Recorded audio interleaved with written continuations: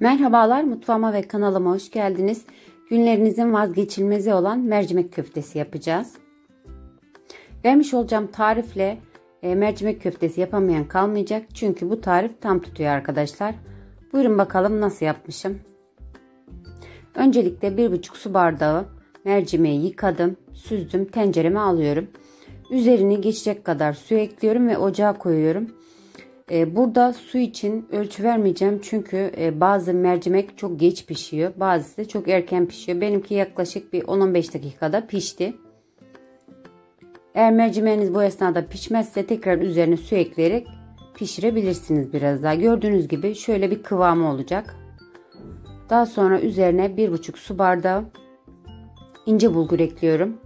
Bu kısım çok önemli. Birebir kullanırsanız malzemelerinizi kesinlikle tutacaktır mercimek köfteniz. Yani ben 1,5 su bardağı mercimek kullandım. 1,5 su bardağı da e, ince bulgur kullandım. Eğer bir bardak kullanacaksanız mercimeği bir bardak da bulgur kullanmanızı tavsiye ederim.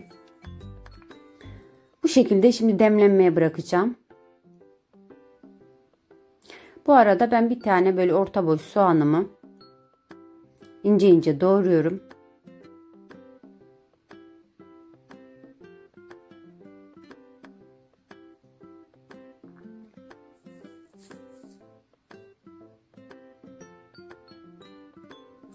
Evet tavama soğanımı aldım. Üzerine şöyle yaklaşık bir çay bardağı kadar sıvı yağ ilave ettim.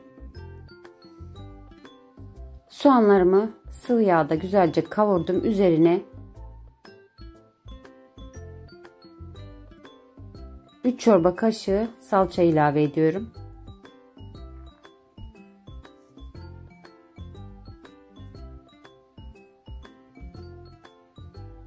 Kavmuş olduğum soğanımı şöyle salçayla da bir iki karıştırıyorum. Evet artık mercimeğimiz demlendi. Hem de soğudu. Üzerine dökebilirim soğanımı ve salçamı.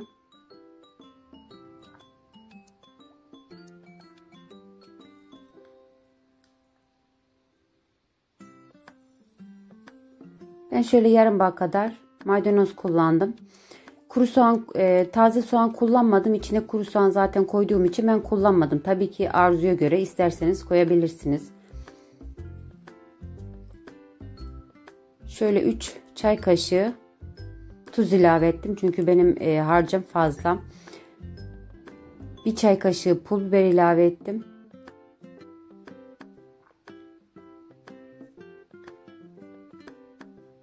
Bir çay kaşığı karabiber koydum ve yarım çay kaşığı da kimyon ekledim. Kimyon e, kimyonun gaz alma özelliği var arkadaşlar. Ben mesela kısırda ve de e, mercimek köftesinde kullanıyorum.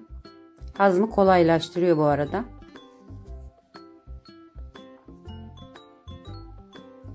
Şöyle e, mercimek köftemizi güzelce yoğuruyoruz.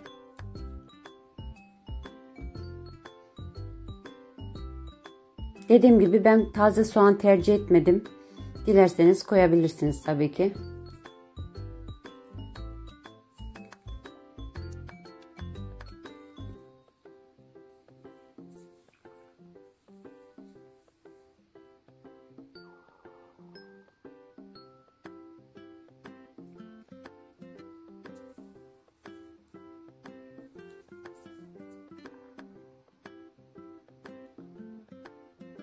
Bu esnada çok e, hızlı yoğuramadım çünkü e, kameram sallandığı için daha sonra ben kamera arkasında güzelce mercimek köftemi yoğurdum. Gördüğünüz gibi artık kıvamını aldım.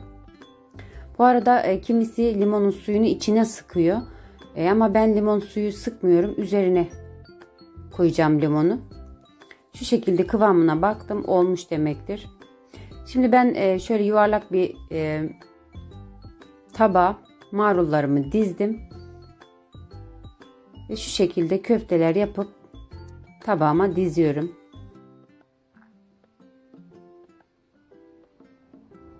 Dediğim gibi limonu üzerine koymayı tercih ediyorum. Ben yerken üzerine sıkıyoruz. Böylelikle de bir videonun daha sonuna gelmiş olduk. Yeni tariflerimden haberdar olmak için kanalıma abone olmayı unutmayın lütfen. Görüşmek üzere, hoşçakalın.